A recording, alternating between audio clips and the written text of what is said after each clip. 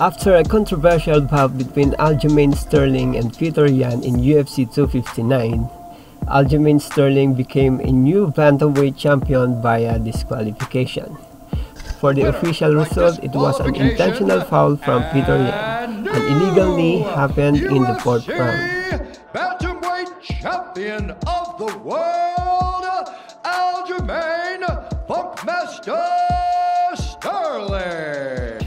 And after the fight, Aljamain emotionally gave his statement. To Let's this point, listen and to fucking have the fight go like that.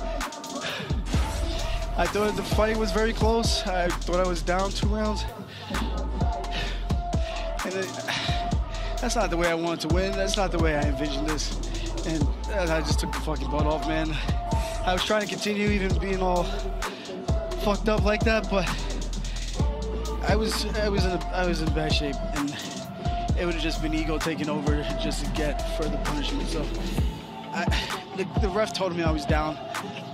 I don't know, man. It's fucking fucking bullshit. I understand there's some some heat, some bad blood a little bit, but it's all rivalry and. Uh, well, And that's all for your MMA news. Thank you for watching and please don't forget to subscribe.